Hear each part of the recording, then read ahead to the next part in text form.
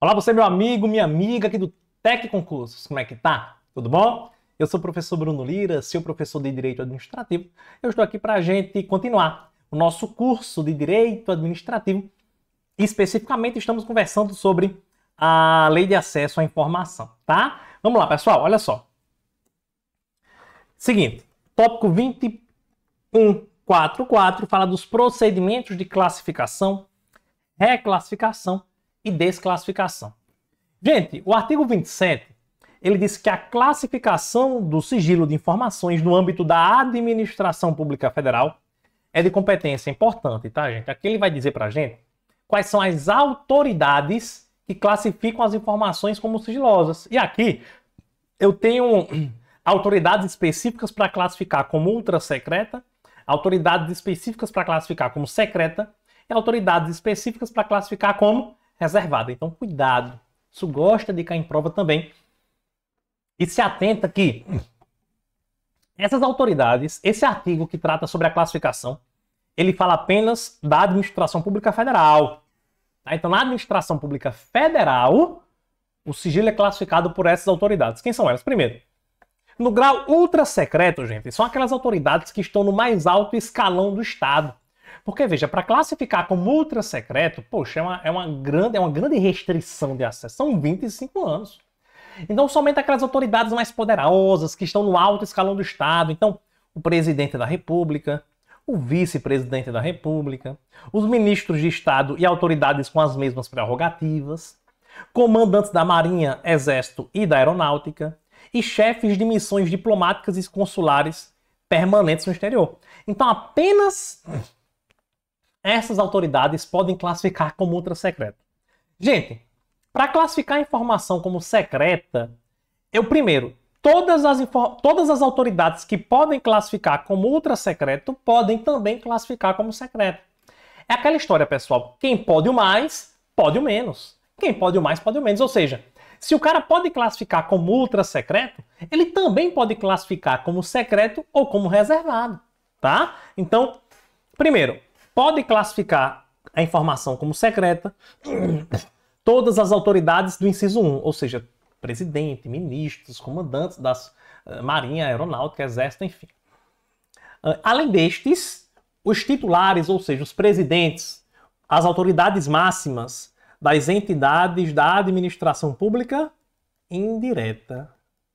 Então, além das entidades, além das autoridades do inciso 1, presidente, ministro, chefe de, de algum exército aeronáutico ou marinha, uh, chefe de missão diplomática, enfim, além deles, os chefes, as autoridades máximas de autarquia, fundação pública, empresa pública ou sociedade de economia mista, que são as entidades da administração pública indireta. Beleza? No grau reservado, pessoal, no grau reservado, eu posso classificar quem pode? As, as autoridades do inciso 1 e 2, ou seja, a autoridade que classifica ultra secreto também pode classificar secreto e reservado. A, informa a autoridade que classifica secreto também classifica reservado. Além deles, as autoridades que exercem função de direção, comando ou chefia, nível DAS 101. Esses níveis, pessoal, são níveis integrantes da estrutura organizacional, tá?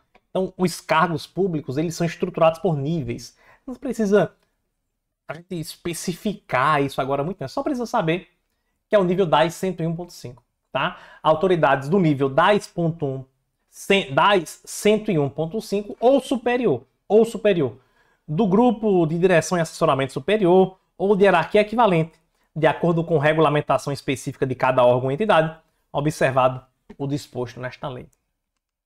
Artigo 30. Ele diz, pessoal, isso aqui a gente teve uma questão de um ponto aqui que eu vou falar com você, tá?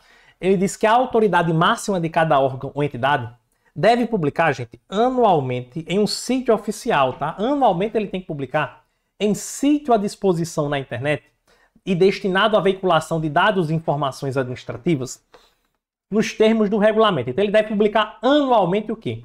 Um rol de informações que tenham sido desclassificadas nos últimos 12 meses. Ele tem que manter, gente, anualmente, informar para as pessoas quais foram as informações que foram desclassificadas nos últimos 12 meses. É importante isso.